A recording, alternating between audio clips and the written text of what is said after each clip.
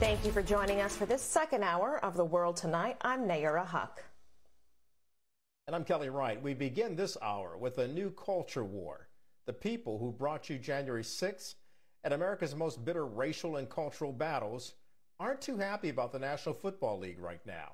As the city of Los Angeles and the Rams fans get ready for a victory parade tomorrow, a new LA Times national poll found that 45% of Republicans or those who lean Republican felt the NFL is doing too much to show respect for its black players. When you don't break it down politically, only 22% of all who responded felt that way. Only 5% of Democrats said the NFL leans too far black. In addition, 52% of Republicans said they did not approve of the Rooney Rule, which requires that people of color be interviewed for head coaching jobs and other top positions.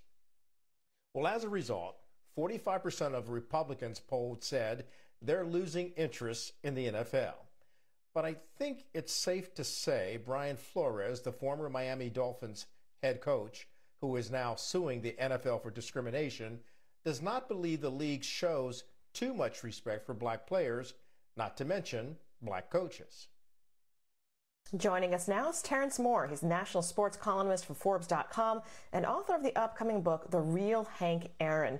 Uh, Terence, knowing that viewership of the Super Bowl went up this last year, what do you take away from this LA Times poll? And for context, it was just conducted the first week of February with about around 7,600 people.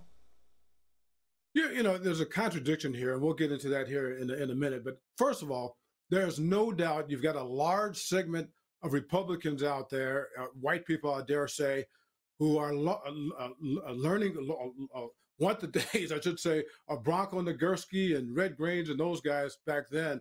And, you know, when I was sitting there reading that LA Times story, I was in uh, LA for the Super Bowl and, and I saw it and I started thinking about the week before. I saw one of these Jetsons episodes, Jetsons, that old cartoons from the 1960s and this particular episode came from 1962, and it was projecting to the future of football. And they had a bunch of robots out there playing, and a bunch of robot head coaches or what have you. And yes, they were all white. So it's almost like, you know, they want to go back to the future of that on the one hand. But on the other hand, you got to look at it this way here, too. You had that huge halftime performance that we all saw. I saw it live with all those rap stars out, there, out there from way back when and Snoop Dogg and Dr. Dre what have you. And I want to tell you something. I looked around that stadium. There was a whole lot of white folks jamming to that. And as we all know, white people buy more rap music than black people. Well, you just broke that down, going all the way from the Jetsons to hip hop today. Uh, I will just add that hip hop is world renowned. It's it's actually spread the music and the culture of America from the inner cities to to the world. But let's let's break it down, going all the way back to Colin Kaepernick, which actually sparked some of the protests that we've seen from the right wing media and right wing leaning people, uh, a la the Republican Party. And so perhaps the hip hop generation was too much for them to handle uh, during the Super Bowl. Yeah, well, and you, you, talk about uh, Colin Kaepernick. That was back in 2016, and let us not forget that the president at that time, Donald Trump, called all the people who were kneeling, who were black, by the way, SOBs, and got cheered for that. So that was a huge part of it. But let's let's go back to something else here. All right, and this is this does not get enough play. And th- this, to me, what I'm going to say next, explains an awful lot why Brian Flores filed that law- lawsuit, the fact that there were so few black coaches in the NFL, just one after last season. Now you got uh, two, or we got three now, I guess.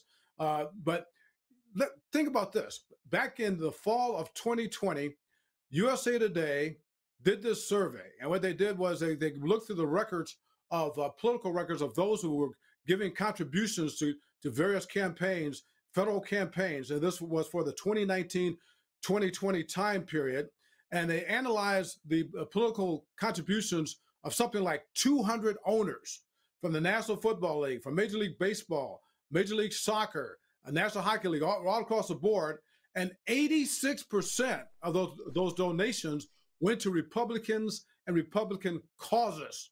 So this shouldn't be a surprise, all right? A lot of rich people, a lot of rich Republicans, and it starts at the top the NFL and it goes all the way down. So this is reflecting what we're seeing with this poll. It goes beyond just the fans. It tells you what's going on in, in upper management all the way up to the ownerships.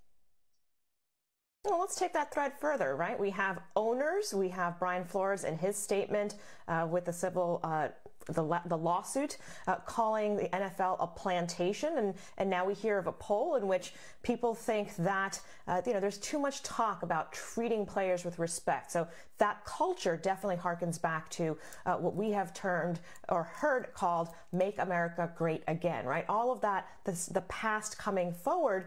But again, that viewership increasing this time. All those people who were dancing to the music, who were Gen X, millennials, you know, who are now major earners and consumers in American society is doubling down on the black identity of the NFL actually the way to grow the organization. See, and this is where I say it's a contradiction. I, I and we all know about polls. Polls lie an awful lot depending on you know who's giving the poll, who's averaging the polls. Sometimes people lie to, to, to poll takers, and I say that because besides the the example I gave when it came to that halftime entertainment, let's go back to 2019. That was the last uh, season in the NFL prior to the pandemic, and the NFL made a record. Uh, was it, 16 billion dollars? Okay, so that's a lot of black people and that's a lot of white people. All right, and that's right during the time period when LA Times said in this survey and in its various polls that a lot of people said they were losing interest in the NFL. Well, really? I don't think so. And then you look at the ratings here this year for the Super Bowl, they were up 8% over last year. So that's what I'm saying. The contradiction is, is pretty deep here. So, yeah, I mean, I understand it from the ownership standpoint because there's all kind of stats to prove that they're Republican and, uh, and the same with the management and the ownerships and what have you. But when it comes to the fans, deep down inside, I, I, think that they really want their, their teams to, to, win and they want to see the National Football League in, in all of its glory, so to speak.